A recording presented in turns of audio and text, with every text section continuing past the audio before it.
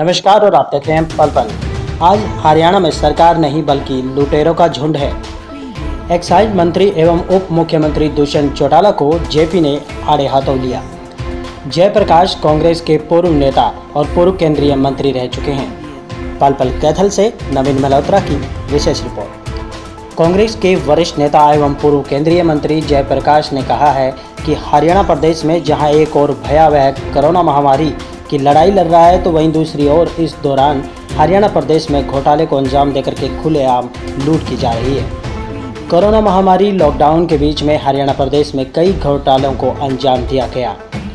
हरियाणा में भाजपा जजपा सरकार में हुए शराब घोटाले, रजिस्ट्री घोटाले और चावल घोटाले में करोड़ों रुपए की लूट की गई है। उन्होंने आरोप लगाया कि हरियाणा सरकार कोई डिप्टी कमिश्नर या कोई अधिकारी बात नहीं मानता। और न ही किसी प्रकार का आदेश पुलिस कप्तान मानता है। मुख्यमंत्री का आदेश डिप्टी मुख्यमंत्री भी नहीं मानता। पूर्व केंद्रीय मंत्री जयप्रकाश ने कहा है कि शराब घोटाले में सतीधर सिंह राणा अकेला दोषी नहीं है, बल्कि सत्ता में बैठे लोग भी दोषी हैं। उनके आगाओं को भी गिरफ़्तार किया जाना चाहिए, क्योंकि वो भी पूरी तरह दोषी हैं।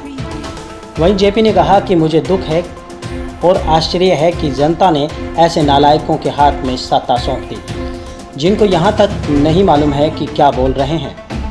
उन्होंने कहा कि ब्याज आड़ती को नहीं, बल्कि सरकार को देना चाहिए। आप देख रहे हैं पल पल की विशेष रिपोर्ट। पूरे हरियाणा प्रदेश में कांग्रेस पार्टी की ओर से उपायुक्त के माध्यम से महामहिम राज्यपाल को ज्ञापन दिए जा रहे हैं।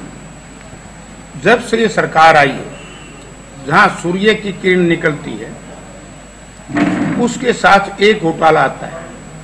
और जब विशेष तौर से मैं घोटालों की चर्चा करता हूँ, मीडिया के सामने या सोशल मीडिया के सामने तो कुछ भाइयों के दिमाग में एक बात आती है कि जयप्रकाश किसी व्यक्ति विशेष या परिवार विशेष के खिलाफ क्यों बोलते मैं किसी व्यक्ति विशेष या परिवार विशेष के खिलाफ नहीं हूँ।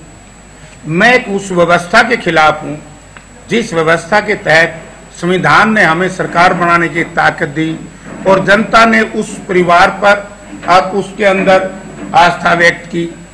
लेकिन जिस तरीके से इन लोगों ने किया, मैं इसके विरोध में आपने देखा हुआ तो जैसे सबसे पहले जैसे ही चुनाव खत्म हुआ, सरकार बनी, धान घोटाला है। और धान घोटाले का मामला आप लोगों को याद होगा, जब हम ज्ञापन दे रहे थे तो उस वक्त मैंने उठाया तो भाजपा और जजपा, जिसको आज जच्चा बच्चा कहती है जनता, उनके लोगों ने कहा कि जयप्रकाश तो वैसे ही कह रहे धान घोटाला है ही।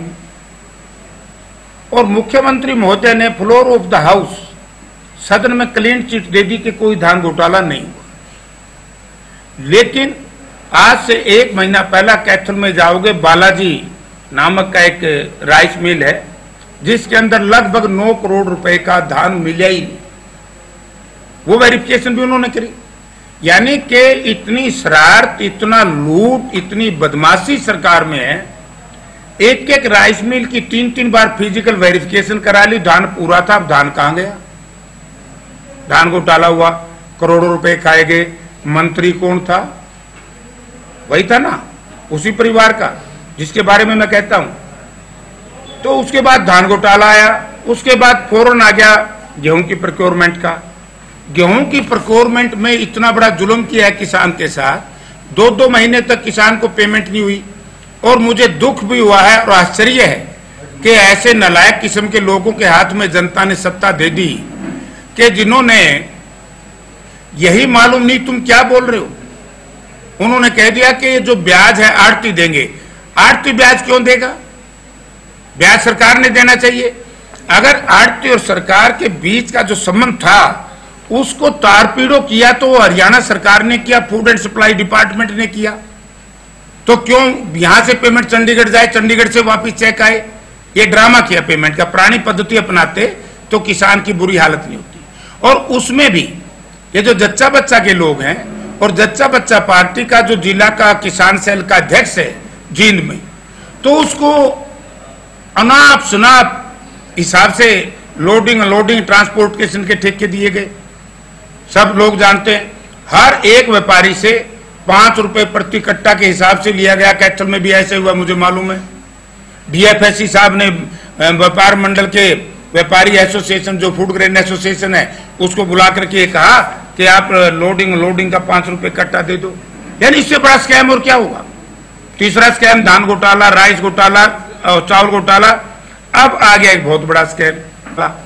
जब देश में लॉकडाउन हुआ और हरियाणा प्रदेश में शराबबंदी की बात कही गई। पहली बात तो यह कि इनकी नियत उसी दिन पहचानी गई थी, जिस दिन ऑल पार्टी मीटिंग में। दुष्यंत सिंह ने यह कहा कि शराब के ठेके खुले रखो, क्योंकि मंत्री है एक्साइज एंड टैक्सेशन का।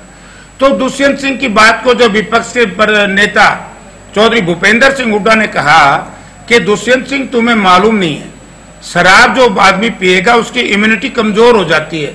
प्रतिरोधक क्षमता खत्म हो जाती है तो शराब बंद होनी चाहिए।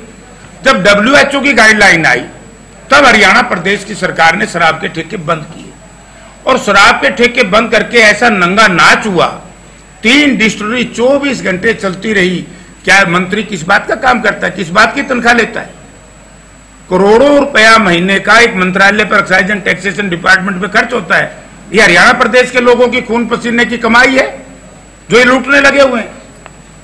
और जब एससीटी बनी, हमने एससीटी का विरोध किया कि एसआईटी होनी चाहिए। ये बात सही है कि एससीटी को सीआरपीसी आईपीसी में कोई प्रावधान नहीं है कि वो किसी के ऊपर कोई कार्रवाई कर सके। मगर, आज ही मैंने दैनिक ट्रिब्यून अखबार में पढ़ा मुझे बड़ा आश्चर्य होता है।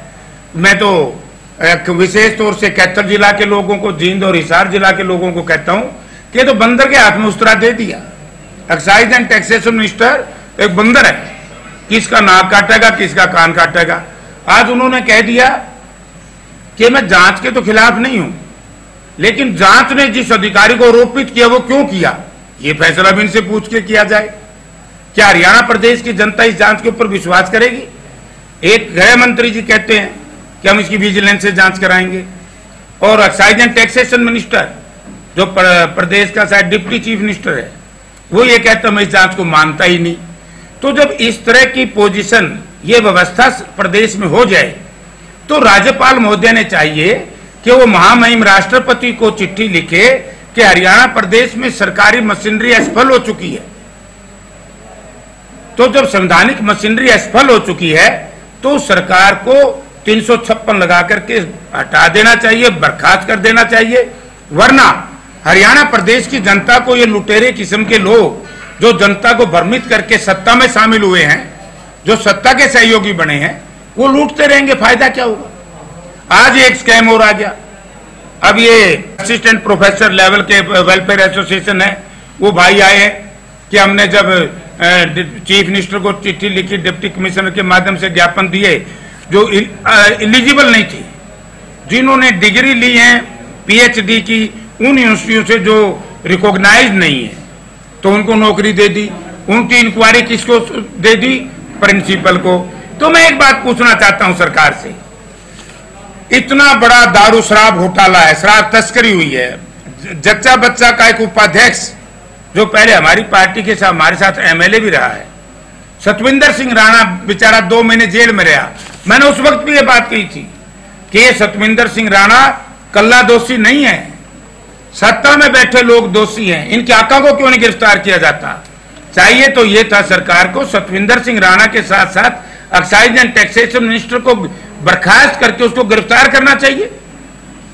जो एससीटी को नहीं मानता, जो हरियाणा भारतवर्ष के संविधान को नहीं मानता तो किसी इंक्वायरी को नहीं मानता, सरकार को नहीं मानता तो संवैधानिक मशीनरी तो फेल होगी हरियाणा में।